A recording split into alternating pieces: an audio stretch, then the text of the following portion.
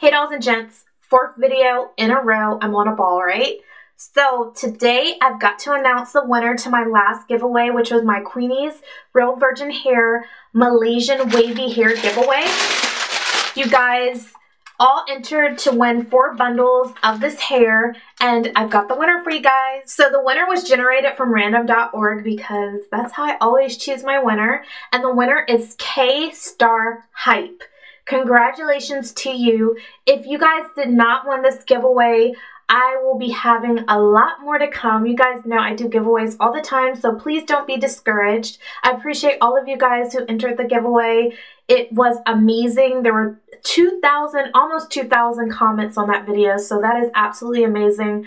I love you guys. So I wanted to do a tutorial on the foundation that I wear when I go out to the club, a party, or anywhere I want my foundation to look excellent. I want it to look good under flash photography or video like photography or film. So this makeup is gonna look good under flash photography and also HD video. So if you guys want your face to look beat, you want it to look perfect, but you don't want like that flashback, this is the makeup for you. And you guys know I have acne scarring on my cheek area, which you will see in this like kind of flawless face tutorial.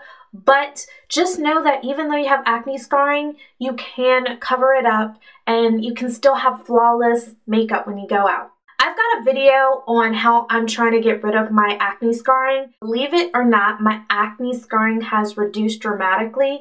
I still have acne scarring on my cheeks, but it is slowly but surely fading. And click the video here if you're interested in that. If you have active acne on your skin, it's a bit harder to cover that up because bumps are harder to conceal than scars, but you can surely try this out as well and I'm sure it will look great on you. If you guys enjoy this tutorial, definitely give it a thumbs up and if you want to see how I got this flawless foundation that I've been wearing in my last couple of videos as well as this one, definitely stay tuned guys.